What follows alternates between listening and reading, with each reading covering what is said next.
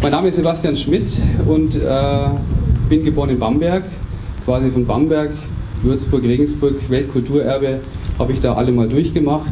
In der Zwischenzeit und bis heute war ich in verschiedensten Apotheken tätig, habe viele Erfahrungen, ähm, gute wie weniger gute, äh, sammeln können äh, ähm, und freue mich jetzt, sehr, wieder hier zu sein in der Heimat. Für mich schließt sich der Kreis. Ich möchte für Sie da sein, eben als Vorortapotheker. Und ich möchte ähm, einen Service bieten, Montag bis Freitag von 8 bis 18.30 Uhr, Samstag von 8 bis 14 Uhr.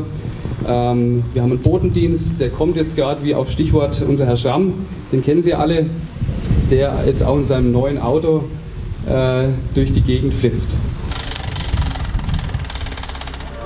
So, wir haben am Donnerstagabend im Zuge der Neueröffnung oder Wiederbelebung der Breiten Güßbach Apotheke die geballte Politprominenz, die erste und dritte Bürgermeisterin der Gemeinde Breiten Güßbach. Herzlich willkommen bei uns vor der Kamera.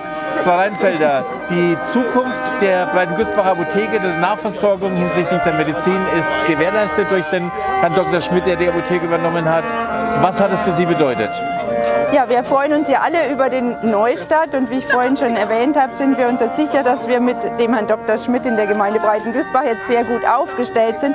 Auch die dritte Bürgermeisterin ist heute da. Was bedeutet es für Sie, dass die Apotheke eine wahrscheinlich langfristige Nachfolge gesichert hat?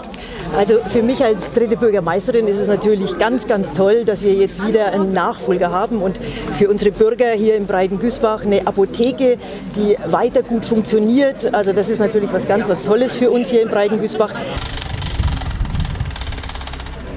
So, hier ist der Herr Dr. Schmidt, der neue Pächter der Breiten Güßbacher Apotheke. Pünktlich zur Beendigung der Eröffnungsfeier oder zum Übergang des geselligen Teils hört auch der Regen auf. Herr Dr. Schmidt, Sie haben heute den offiziellen Startschuss gegeben für die Nachfolge in die nächste Generation der Breiten Güßbacher Apotheke. Was bedeutet es für Sie als Unternehmer persönlich, diesen Schritt in die erste Selbstständigkeit gegangen zu sein? Äh, sehr viel, denn äh, ich bin jetzt seit 16 Jahren Apotheker und es war immer ein großer Traum von mir, eine eigene Apotheke zu haben. Den habe ich mir jetzt erfüllt äh, in meiner Heimat. Also es könnte gar nicht besser laufen für mich, weil ich natürlich auch Unterstützung von allen Seiten habe. Meine Eltern sind da, meine Geschwister sind da, die mir es natürlich auch leicht machen, äh, hier ähm, ja, den Schritt zu wagen. Was wünschen Sie sich von den Menschen da draußen?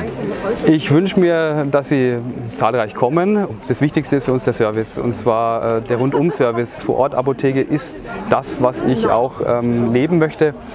Und ja, ähm, ein offenes Ohr für alle Probleme äh, und ein Service von Montag bis Samstag äh, rund um die Uhr auch online, wenn Sie möchten.